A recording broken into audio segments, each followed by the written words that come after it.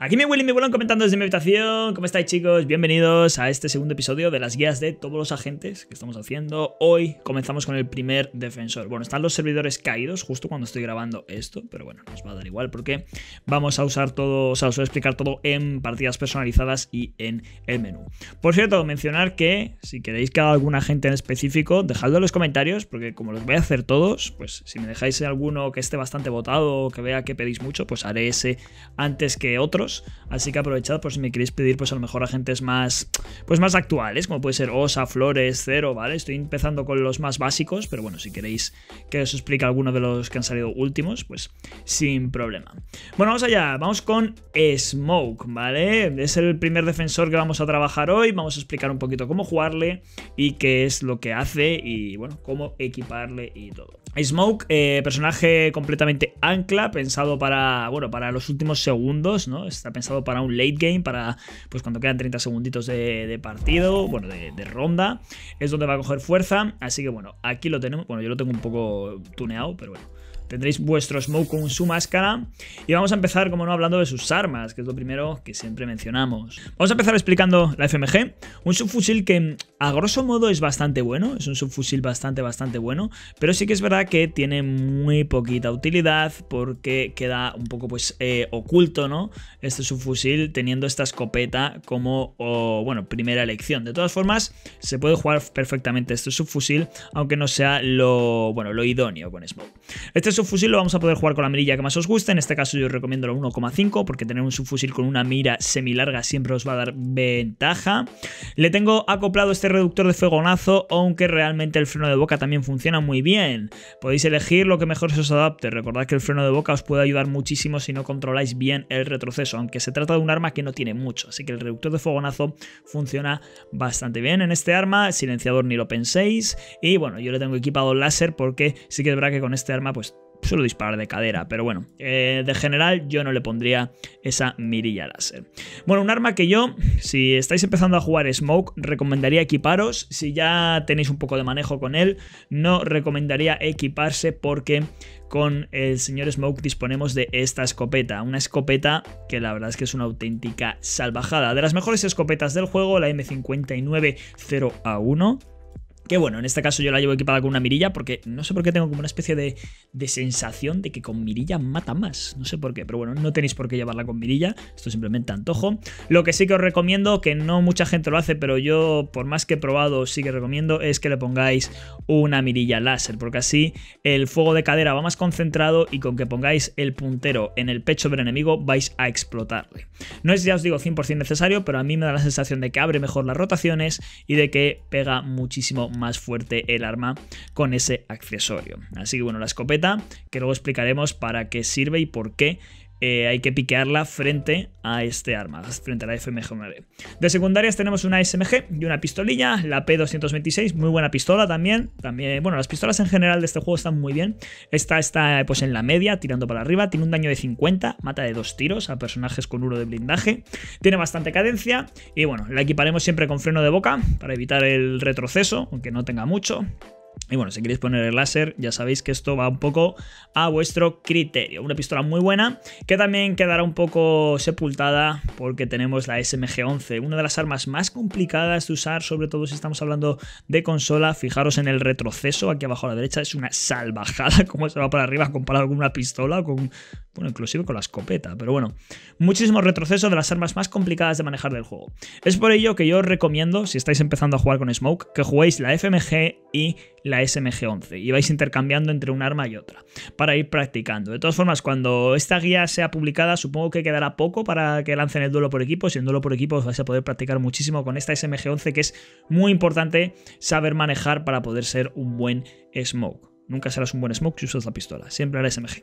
SMG, a la cual yo recomiendo reductor de fogonazo, ya que tiene un recoil vertical muy, muy fuerte. Si tuviese freno de boca estaría mejor, pero bueno, en este caso no tiene. Así que reductor de fogonazo, no os ceguéis por el cañón ampliado, porque no merece la pena, ni por el silenciador, aunque le quede muy guay y mole mucho. Y por supuesto, por el compensador, tampoco. Reductor de fogonazo siempre. La mirilla que más os guste, eso siempre va a ir a gusto. Y una empuñadura para que no se menee como la compresa de una coja, ¿vale? El resto siempre a vuestro antojo, tema de skins y demás.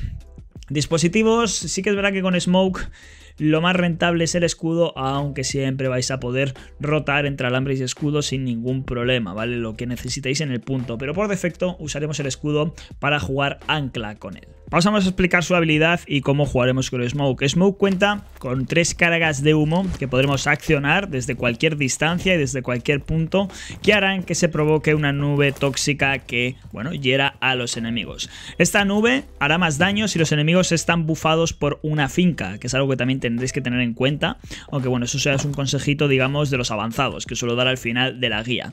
Entonces recordad que su gas hará más daño si tienen activado una finca y de normal la verdad es que hará bastante daño daño, aunque no puede impedir que un personaje con 100 de blindaje atraviese el humo, perdón, con 100 de vida atraviese el humo sin ningún problema.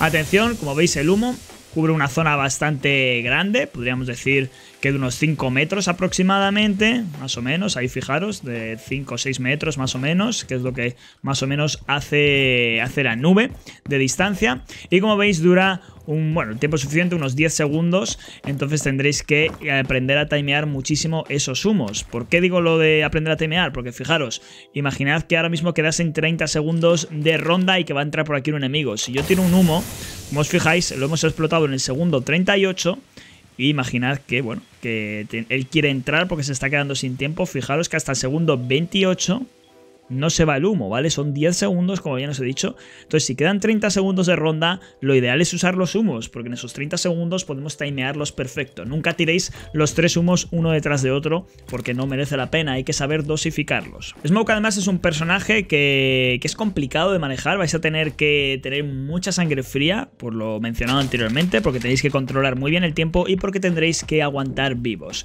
Su rol va a ser ancla, él jugará siempre dentro de punto, no merece prácticamente la pena nunca sacarle a dar, a dar bueno, eh, a hacer roam ni a intentar cazar ninguna kill, porque su gadget se usa al final de las rondas. Entonces es importante que esté vivo. Para eso, lo dicho, tendremos nuestro escudo que nos ayudará a mantenernos muy firmes dentro de los objetivos. Otra tarea, o bueno, mandamiento, estoy por llamarlos mandamientos en cada gente. Uno de los mandamientos de Smoke será generar las rotaciones, sobre todo si lo estamos jugando a escopeta.